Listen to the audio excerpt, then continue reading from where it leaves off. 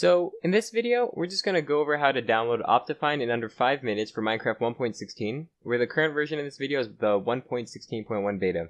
The beta is just basically a preview version with all of the latest developments.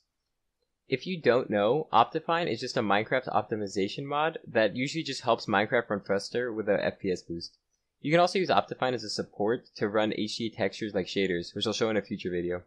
Before we start, if you're new to the channel, check out my other tutorials and videos for more helpful content, and make sure to subscribe if you found this helpful.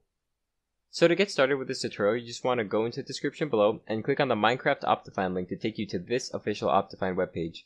Since we're in 1.16.1 and Optifine is still in development for this version, we're just going to go to the preview versions here and download the latest preview version, which is Pre 4 or Preview 4. In the future, when Optifine 1.16.1 is fully out, with my guess, that would be about early August. It would show up here with the latest downloads as Minecraft 1.16.1.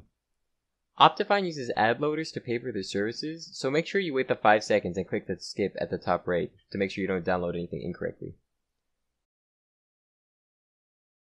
Now we just want to install Optifine, and to do that, you just want to right click on the jar file and click Open with.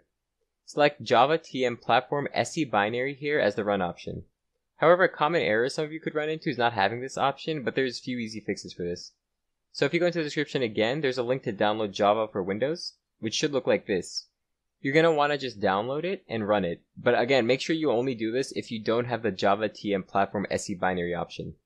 However, if it still doesn't work after you try this, you're going to want to go to the description once again and look for the jarfix link, which is going to take you to this website, which you would just download and run the exe file.